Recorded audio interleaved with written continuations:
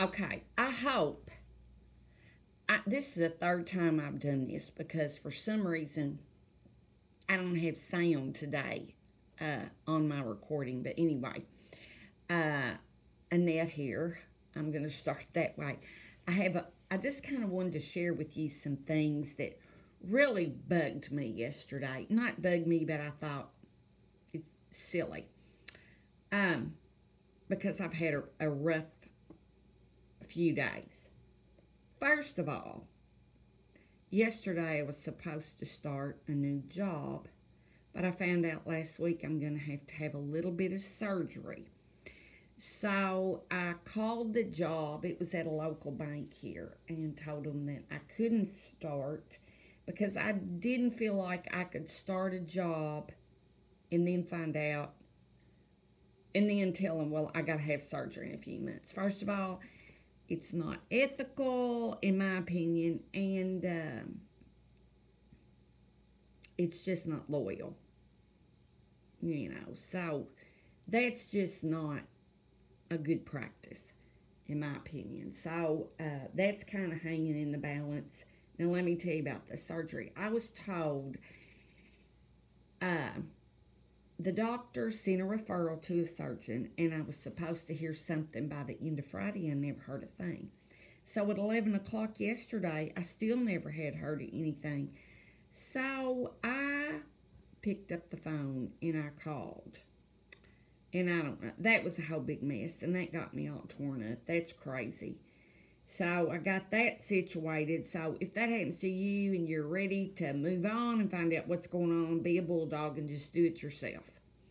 So I did that. Then I then I finished up my LinkedIn page. Even though I was offered a job, I just wanted my LinkedIn page. It needed to be updated. So uh, I got a little help with that. But when I was working on it, I noticed that um, I pay premium so I can see who's looking at my LinkedIn page. So um, I noticed some of the people, there were people from my prior job looking at it that did not want to be seen.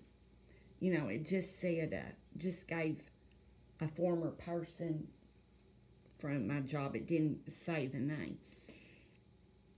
Uh, let me just say this if you're looking at my new profile and there are things on there you didn't know, maybe, just maybe, you should ask people instead of being so interested in where you can climb to and what your title can be. Maybe you should ask people what they do. Get to know them instead of them trying to figure out what the heck they're supposed to be doing or uh, how you're going to impress the consultant instead of doing what we're supposed to be doing, and that is working with students. Um, I hope you see this because you have a lot of talented people there that are leaving because of those very things. Thank goodness I was one of the lucky ones. You were nice and you gave me a severance package, but I think it's very, very sad of some of the things happening. So let me just say that. And if you want to be mad, be mad. But I haven't called your name or anything else, but I'm going to tell you what. Look and see and check out other people instead of checking me out and wondering what I'm fixing to do. Because I'm going to do. you can believe. So, let me tell you other people that care what I am going to do. I've got jewelry to deliver today. I've baked brownies uh, to go to the church because uh, the Morganfield First, they feed the fair workers today. So, Jingish, if you see that, see this, I'm bringing some brownies. Uh, but I'm not going to the fair. Then uh, tonight, I will be going to the fair. My granddaughter's in a little contest. My new nails and my new lashes, the red Aspen products came in yesterday.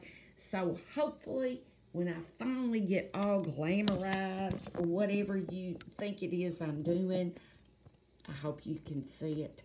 So what I really, I just had to let all that out today. I had a crazy day. I didn't, oh, and there's one more thing.